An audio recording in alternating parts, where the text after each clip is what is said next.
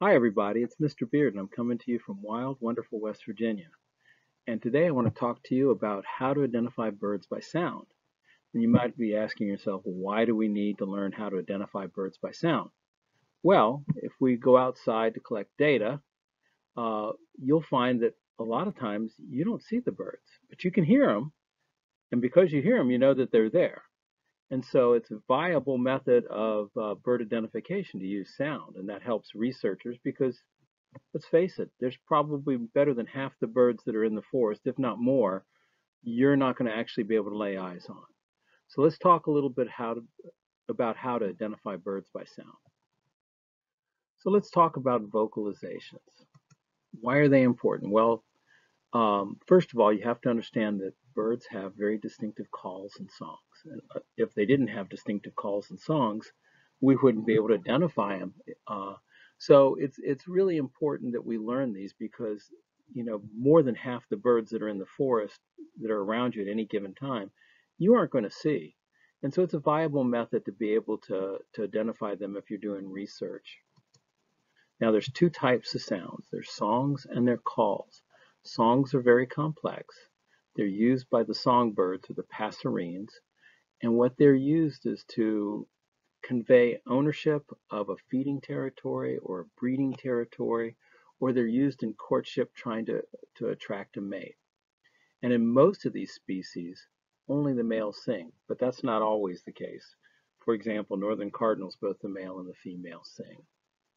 Now calls are short, they're simple, could be a chip, could be a cheep. Uh, in the case of a chickadee, it's a chickadee-dee-dee.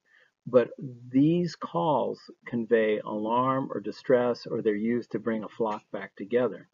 Now, what's interesting is that there's a lot of commonality across all the species in calls, and they're able to understand each other when they're in mixed groups. Uh, research came out last year and uh, researchers found that uh, birds understand chickadees when they go chickadee dee dee. And not only do they know that it's a threat in the area, but depending on how many DDDs the chickadee does, it conveys uh, how serious that threat is. Now there's a lot of methods for remembering songs and calls. One method is phonetic units. And these are just words or phrases that mimic a sound pattern. For example, as I've already demonstrated, the chickadee-dee-dee of the Carolina chickadee, or its song, which is Phoebe, Phoebe, or the white-throated sparrow, which is Poor Sam, Peabody, Peabody, Peabody. So listen to this.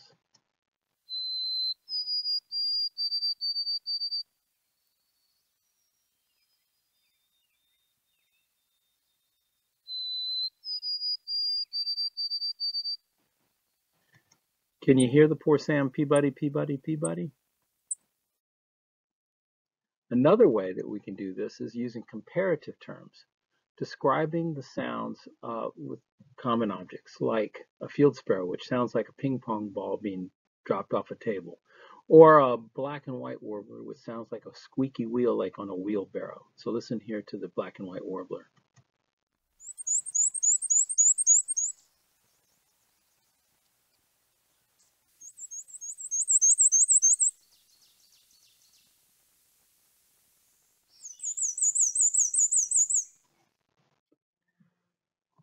We can also use descriptive words to try to, to convey the quality of a sound. For example, we can say a chipping sparrow sounds like it has a dry trill, or a wood thrush, which sounds flute-like. Listen to this wood thrush.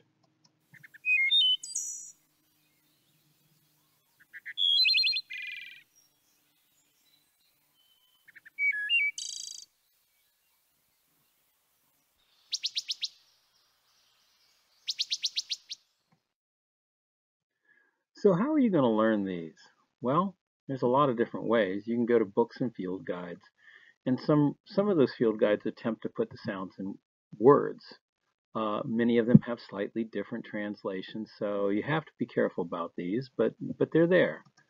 You can actually listen to sounds on recordings. There, believe it or not, there's CDs and there's things online, uh, websites you can go to and you can learn the songs there.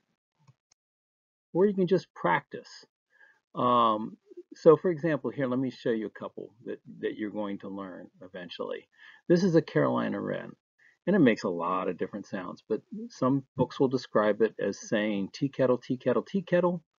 Uh, some will describe it as saying Germany, Germany, Germany. You just have to find what works best for you, for your ears. So here's a, a Carolina wren.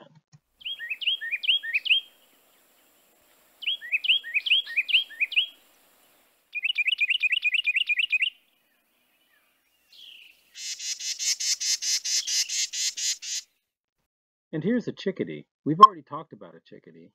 Uh, you're going to hear its song, which sounds like it's going Phoebe, Phoebe, or some people think it sounds like they're going Carolina.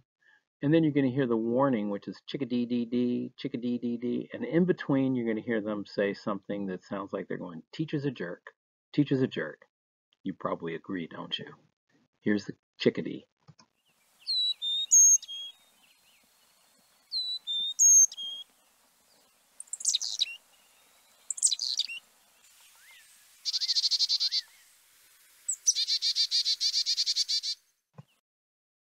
And here's our state bird, the northern cardinal.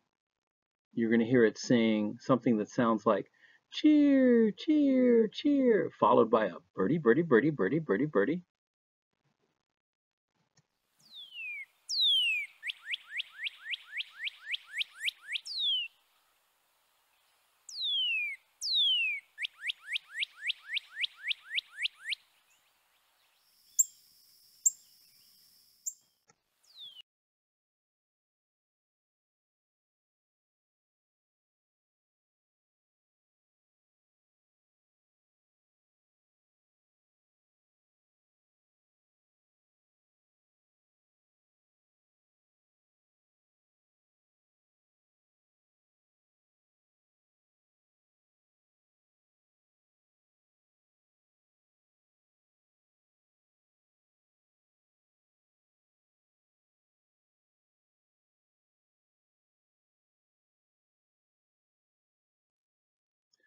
So we're at the end of this. Get outside. See what you can find like these two. They're out there doing a point count. You're going to learn about point counts later. And they're just recording the birds that they see and they hear. And a lot of the birds, believe it or not, are out there you're not going to see. You're just going to hear them. So get out and enjoy yourself and uh, take care until next time.